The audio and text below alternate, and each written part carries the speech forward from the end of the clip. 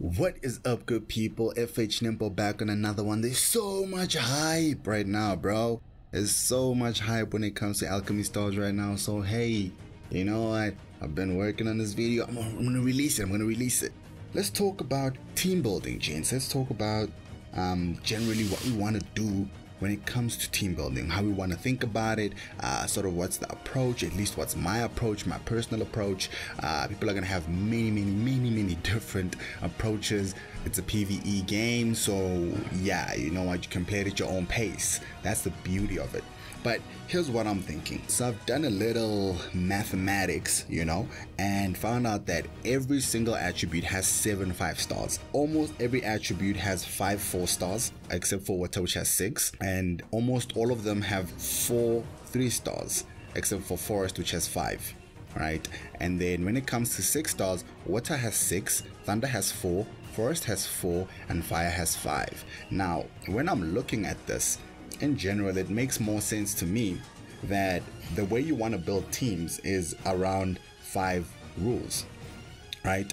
First, your team needs to have between one and two six stars, but there's a caveat. I'm gonna get to that in a second.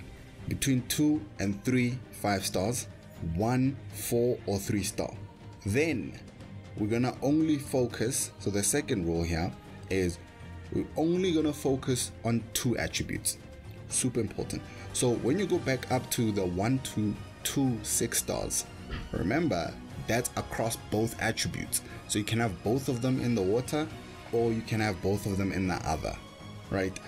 So one or two. This is important for resource purposes. Obviously, later on as the game goes, you can just build whatever. You know, you'll have uh, as long as you've built up your resources and you're pumping it into them, it's all good. But for resource management, focus on two that's it. Then, three, synergy is the name of the game. So if they don't synergize well enough, they're not getting considered. It's just it just it is what it is, right? And then both mono teams must also be good as a dual third team.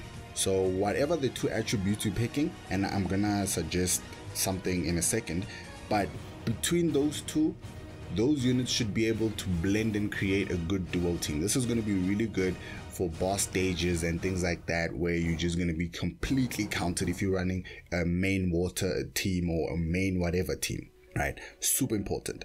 And five, they must be well balanced, but not too slow, man. They need to be able to pump out some damage and do what they need to do. Now, when it comes to the two attributes you want to actually pick to focus on, what I'm going to do and what I suggest you consider doing yourself is actually picking not just any old element just because it looks cool, but picking the element that directly counters the element that counters your main team. Right? Let, let me reiterate. You're picking the element that counters the counter to your main team. Right? So if your main team is water, its counter would be thunder. And to counter thunder, you're gonna need forest. So if you're gonna be water, your main, your main DPS is coming from water teams, you want to build a secondary forest team. Similarly, if your main DPS is going to be a forest team, you want to build secondary water, mainly because fire counters forest and water would then counter fire. Same same logic. If you're running a fire main team, you want to build a thunder secondary. If you're running a thunder main team, you want to build a fire secondary. This by definition is just objectively more efficient. Because here's the thing. At the end of the day, you're either going to go even with your enemies or you're going to counter them, but you're never going to be on the receiving side. As long as you focus on two of the opposing elements. When it comes to your main team, what determines your main team is actually the six star unit you heavily want to focus on. That's what determines your main, your main team. Now, you don't have to get another six star. You could run one main six star that just does a lot of damage and then you flex him into the other mono team that you have, right? So he'll do damage on both sides and you just make him captain on the other side. He doesn't necessarily have to be captain on your main team, but he can be. The main reason to do that is just that it's just a lot lighter on resources and a lot easier to sort of manage. Sort of have one six star kind of going in. But here's the thing it's a gacha game. It's basically a gotta catch 'em all situation. Basically, it's Pokemon. So we want the six stars, we want the five stars, we want to be able to play with them, we want to enjoy ourselves. But here's what I suggest you're gonna have more fun if you can actually clear the game content. So focusing on one or two high rarity units at any given point in time until you've built them up to the point of diminishing return then going on to your next base onto your next base just like that over time will have you build a much much much better team more well-rounded and you'll actually have more opportunities to clear the game content faster and all that kind of stuff that would be awesome you're gonna enjoy the game more when you're actually winning all right, let's jump into the teams, dude. Let's actually jump into what you would actually be building. You know, um, it's not a reroll guide by any means or any stretch of the imagination. This is a team building guide, and more more likely, it's how to think about approaching your teams, right? Um, more specific guides will be released soon and once the game is out it's coming out bro. It's coming out. Like in a few hours it's gonna be here. More specific guys once you've tested the units really min-max them yeah those really in-depth guides will come out. But for now we're just really really just considering what the team should be able to do, what is a well-rounded team, and sort of like what we're going into, man. Like you know, I do so while you are re-rolling and you get some of these units, you just have something to keep in mind that okay, I'm re-rolling for this person. Oh, I actually got this person. It's actually a good account, so you know whether or not it's a good account to keep. You know what I mean? All right, let's say you wanted to start a water team, right? You wanted to have your main damage being from the water element. That is fairly simple right? So water is obviously going to be your mainstay type of team. It's just it's just it's just stacked, man. So for the six stars, you're going to be able to get. Oh, also before I continue. Now, there's going to be some really good six stars that I don't mention in the teams. And the reason for that is because they're not realistic to think about them that way. Because they're not the first six star you want to max out anyway right? They are nice to haves. You want them in your teams. They make your teams much, much stronger. But they're not ideally the first six star you want to have or the first six star you want to max out. You could, but that's up to you. Continuing on. All right, so one, first and foremost, damage. So for your damage, you have a couple of options. You have Sharona, you have Colleen, you have Connolly. Connolly is obviously the OG of damage when it comes to the water team. So yeah, the only problem is that the chances of getting her early game are unlikely. So it's probably a mid game type of situation. So yeah, that's with Connolly. And so here's the thing: if you wanted to go Connolly in the game, so in the game, mid game, you're sort of building towards Connolly. You'd want to get yourself a Klecken. Um, you'd want to get yourself a Philishi you'd want to get yourself even a Missiony, Missiony as a four star, right? And then you want to get yourself Hydred. Now, the reason you do this is because clicking gives you tile conversions, right? Where he converts green tiles. Philishi gives you a reposition and healing, some sustain. Mission is just an all-rounder, just allows you to continuously just pump out some damage while at the same time resetting some tiles. You know what I'm saying? So she, she's not doing a lot of damage, but she's doing enough consistent damage. And that's important because Connolly's cooldown is around five rounds. So you need that missiony kind of coming in every two rounds to just, you know, make sure that there's damage popping off, you know? Klecken is giving you some fears, which synergize with Connolly because she also gives fears. And then Hydred is there to make sure that everybody can attack twice because that's a mono blue team, right? That's his main reason. Now he does counter, but this is not the super important part because you don't want to actually put too much resources into him. So by definition, his attack won't be that good, which means his counter won't be that amazing, right? Now, here is where things get interesting. You once you have that, that that's the general framework of a solid team. Now, for damage from Connolly side, you can then switch to Colleen. If you're running Colleen, you don't have to run Philishi, but you can. So you have the double reposition.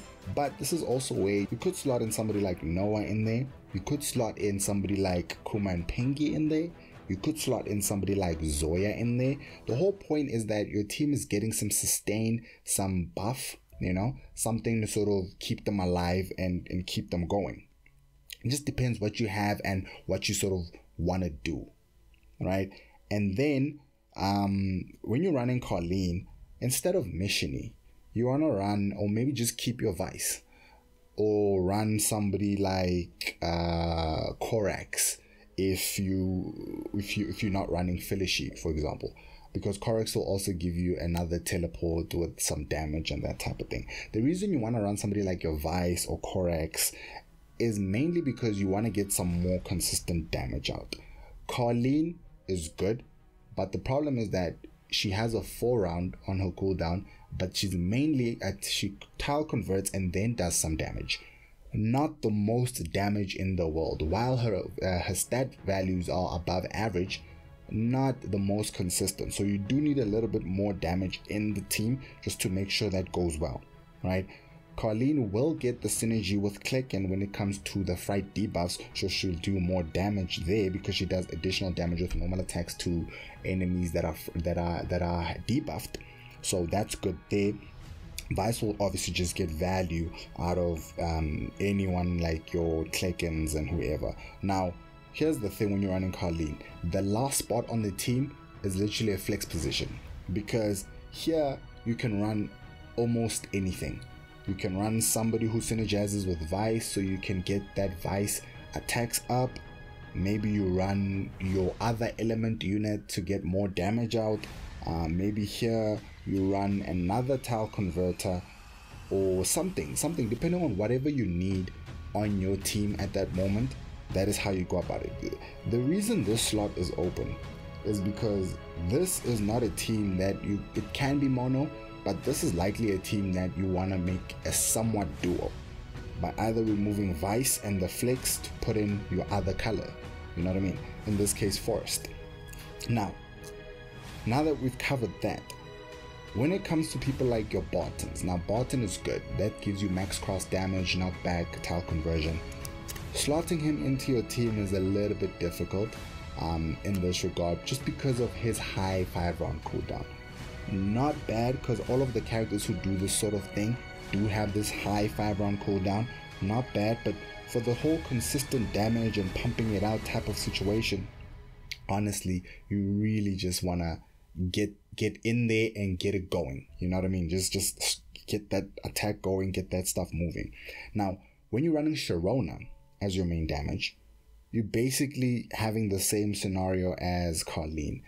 Little less synergy, but Sharona is more of a one man army type of situation anyway, right? So you won't have to do much. Definitely best girl in the situation here is Felici. Now, the next upgrade from Felici is Raphael, right? Raphael, you lose the reposition, but you don't need that if you're running Carleen, for example. With Raphael, you get massive global healing and tile conversions. That that's insane. That is where I'm saying where you can slot in six stars where they're nice to have and they make life so much easier, right?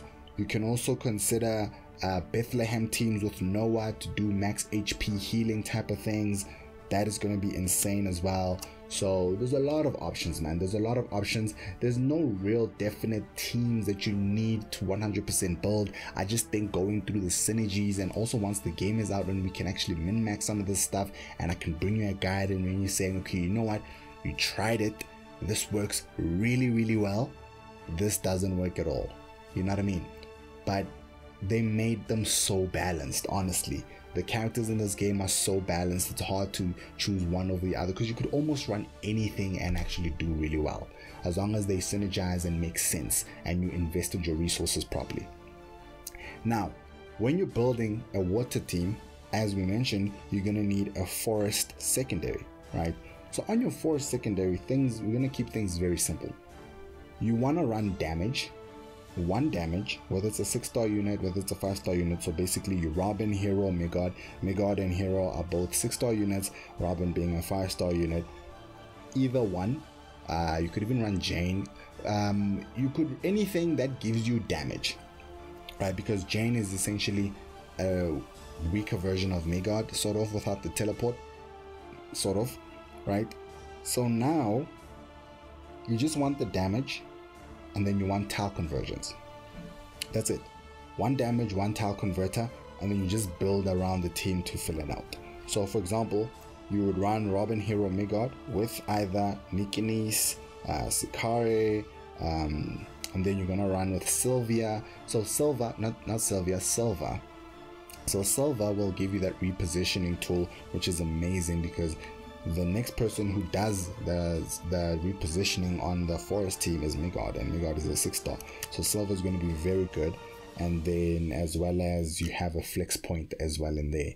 So your secondary won't necessarily be full of forest, but it will be made up of just a few key forest characters where you have a damage dealer, some a tile converter, and then yeah, you don't have to worry too much about healing here because as long as you've built Felicia in your main team, Felicia can just sort of move in between both teams.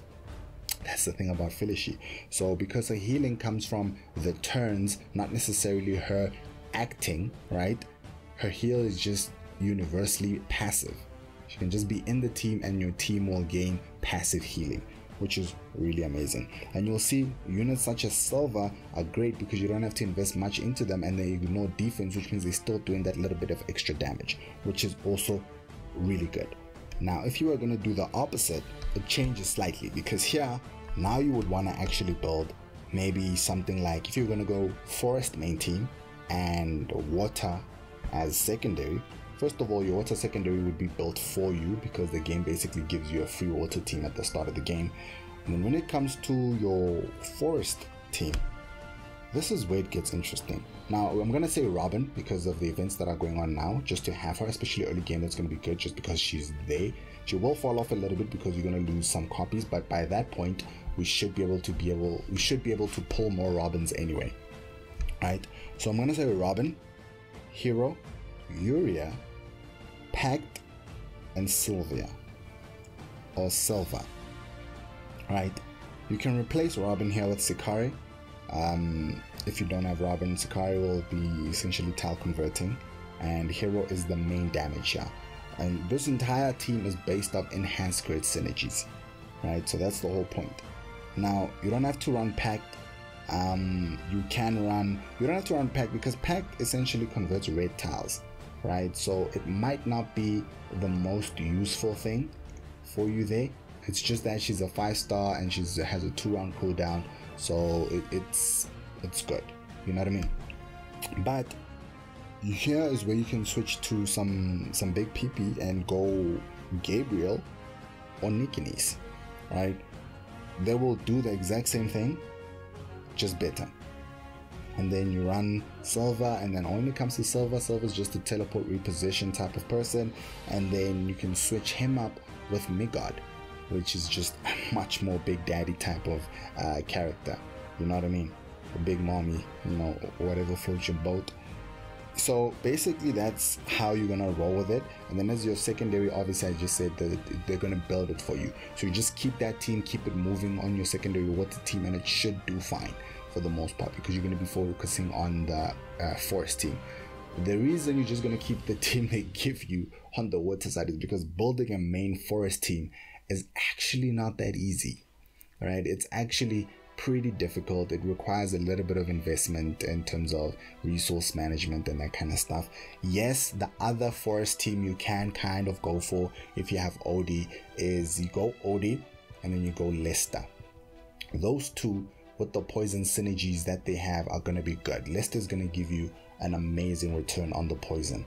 Otherwise, Odie alone is just useless. But you pair Odie with Lester, yeah, you have a good team, and then you can effectively run anything on your three other points, right? Whether that's another, whether that's water, so that could be a dual team if you want to do it that way, or you just run any that all those other three points are flex. Whatever you think you need to sort of get by with your uh, OD forest team, right? So basically, that that covered um, uh, three of the event gacha characters, which was Noah, Odie, and Robin. Honestly, um, Noah obviously you could see where you could slot him in. Um, Odie, you could see where you could slot him in. Robin, you could see where you could slot her in. Uh, I said him on all of those. I meant her. All of them is hers. Claykin is definitely going to be your MVP if your main damage is coming from the water side and you're following the system because he will actually convert green tiles and turn them into blue.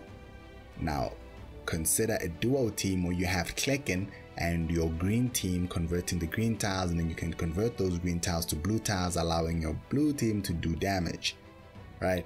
So this is good. Boss stage wise you, you could kind of see how this would work out for you I think I'm just gonna end it here guys because this is gonna turn out to be a long video if I continue. Unfortunately I wasn't able to get to the thunder and fire combinations but I will do that as soon as I upload this video, as soon as I edit and upload this video because I want to try to get this out today before the launch just to try to help a few people out. So what I'm also gonna try to do is post a small little document of the thoughts I had in my process and the thinking of building teams and post that in the description for you guys. It might not be available when I post the video, but it will be available eventually soon but eventually uh, i want to start immediately with the thunder and fire uh, video. Hopefully i can get that out as well before the game starts and then we can also go take a look at that. And i'm going to try to get the document out as well before the launch. We still have a long ways to go to the launch so it's going to be a hectic day for me.